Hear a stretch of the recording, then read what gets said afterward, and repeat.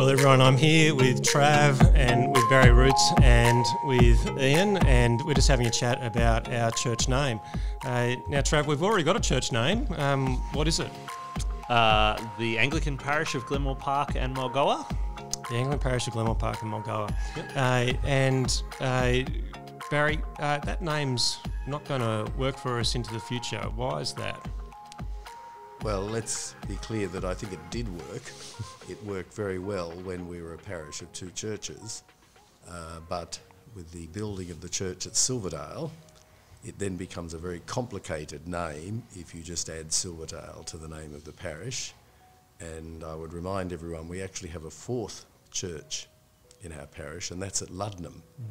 So to continue with the name that's just based on the geography of the four different churches would be a most a burdensome name mm. to carry as a parish. So it was time, once we were moving from two churches to three, to consider a new name for our church. Yeah, yeah. Particularly, I was uh, out Silverdale on Friday, and I saw the big fence there, and uh, I was just thinking we really want to have a name there, and it's no good having the name Glenmore Park Anglican Church there, or Glenmore Park and Mulgoa Anglican Church, uh, sitting on a, a, church building in Silverdale. Uh, so um, really need to be uh, we need to be thinking about this. Um, and how long has the church been thinking about this as a, something that needs to be um, you know discussed and, and solved? Really over um, that early period, Chris, of 2019, um, John Lavender uh, put it uh, just as you've explained it, actually, Barry, that uh, we were going to be ultimately one church in three locations. And Glenmore Park Anglican Church didn't suit if you were worshipping in Silverdale or potentially a lot further down the track. So the process of rolling that out was to discuss it with uh, our church committee uh, the idea was to come up with a name that was appropriate to initially the two churches, the new church plant at uh, Silverdale, and uh, eventually further down the track, the, the church at uh, Luddenham. And uh, never easy picking a name.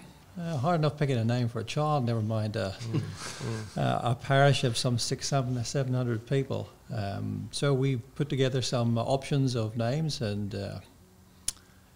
Let's say we arrived at a short list, which is what we're discussing probably now. Yeah, yeah. And uh, before we get into that short list and uh, the discussion that's happened there, uh, Trav, what's in a name? You know, in one sense, we've had a name, and so this is actually a change. And so you think there's actually history. There's history associated with St Thomas's Mulgoa. There's history associated with Glenmore Park Anglican Church or GPAC. Um, you know, so there's a change involved here. Uh, but um, when we think about a name, how should we be thinking about that? Because uh, you know, we get used to a name, and it's hard to imagine changing it. Uh, you know, each one of us has a name. It's kind of like I'm, I'm Chris, and it's a bit hard to imagine myself with a different name. Uh, you know, how should we think about this when we think about a name?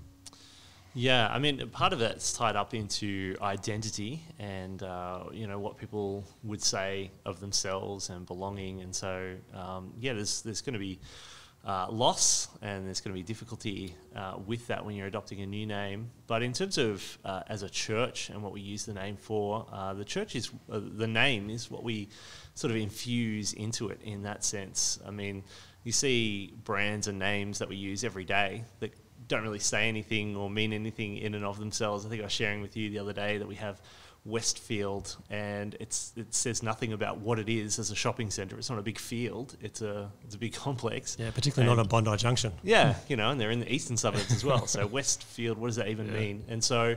Uh, what it is, a name is something that you infuse into it with meaning and purpose. Um, now, obviously, when we're thinking about a name for a church, we want it to be able to say something itself. And so we might be discussing that in a mm. minute about the names that we've kind of arrived towards and that journey there. But the name and, and what it stands for is what we want other people to be saying about us as a church. You know, if you go to such and such church, it's what comes after that. You know, what kind of a church is it? What do they believe? What do they teach? Why do you go there? Um, and so, you know, we all have names that we think are great and names that we think are not so great. Um, but yeah, w- what's in a name is the way that we infuse it with that value and mm, that meaning mm, that, mm. that we put into it as we talk about our church and as other people talk about our church. Yeah, yeah. Uh, my, my brother, my brother-in-law goes to EV Church, and you think, where did the name EV come from? What does that mean? And obviously, it has to do with their history and being evangelical, and uh, then you know, kind of need to explain that in some ways. Um, but they've infused that with meaning. You know, kind of what's EV Church? Well, it is uh, that that experience of, of those people gathered up there on the Central Coast. Um, and it's, it's a tough one because when you think about that area, like often, you know, you kind of name a church. Uh, in one sense, we could think about that area extending from here down south. Um, uh, why has that been difficult to think up uh, a name for that area? Why, why didn't we just land on something really obvious? You know, I don't know the answer to that question, Chris. I really don't. As you, you go and ask three, four hundred people uh, of the names of uh, the name of a church to try and combine everything that uh, uh, we live for and move towards as Christian people, you're not going to get everybody on board. Uh, you'll you might have 50, 100 people come up with one name, and another 100 people just don't like it at all.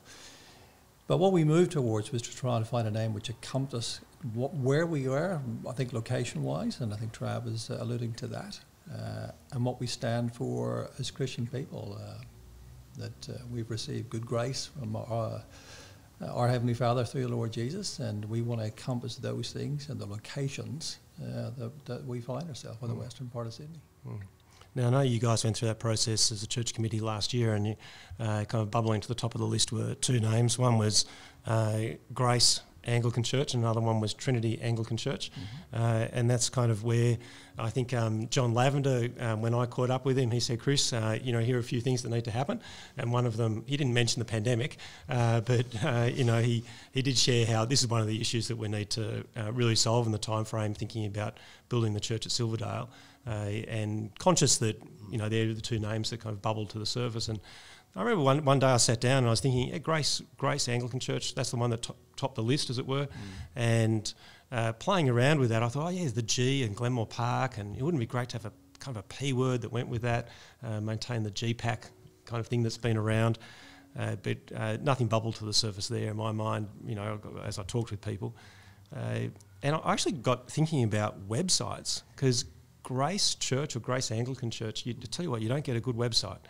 And uh, I, I, was kicking around some ideas, and uh, there was one morning I had this idea of Grace West, and I checked out the website, and I really like Trav's website, which is gpa.church. That dot .church thing really is really excellent. It's the shortest email address I think I've ever had in my life, and uh, you know, and I, I checked to see if you know is Grace West dot church there uh, is kind of an abbreviation for Grace West Anglican Church, uh, and it was. So I thought we'll invest sixty bucks in this decision.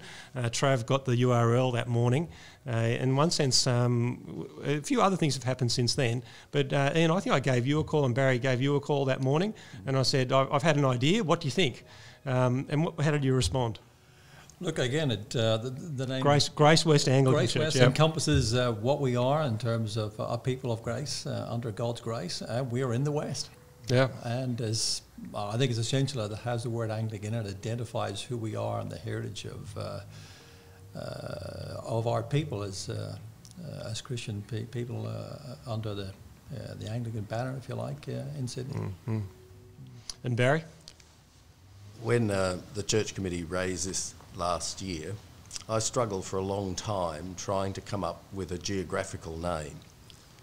Um, my interest and expertise in education was in geography, and given the distances between these churches and the geographical differences that exist between the different churches within the parish, I came to a, a dead end. I just could not find a name geographically that was localised that would suit all four churches. And I'm sure there were other people in the church who were going through all sorts of different sort of uh, processes to come up with the physical geographical name.